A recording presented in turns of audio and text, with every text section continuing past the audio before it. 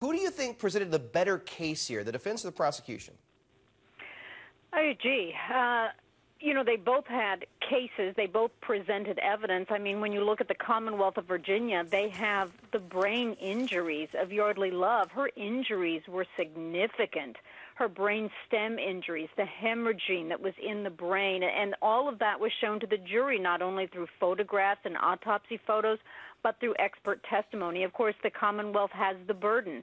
The defense, though, painted another picture with its experts, talking about that there was not significant brain injury and that she actually died by putting her own face into the pillow at one point when George Huguely had left the room, and thus she had suffocation, and that caused her death. And so, is that enough reasonable doubt right there at least to make this not a first degree murder case. Gene, it sounds to me though like it's it's it's kind of like saying someone in a car accident died when they hit the pavement. Well, they wouldn't hit the pavement if the car didn't hit them. It sounds to me like the, the extent of the injuries are so severe.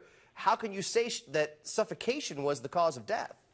Right, and thus we have a jury instruction, and I was looking for this to see if they were going to have it, and there is one that says that the the beating to her head and to her skull and to her brain does not have to be the sole cause of her death, but if it is a contributory cause, it is if it's one of the main causes that created a situation where she died, then it, you can call it a cause of death.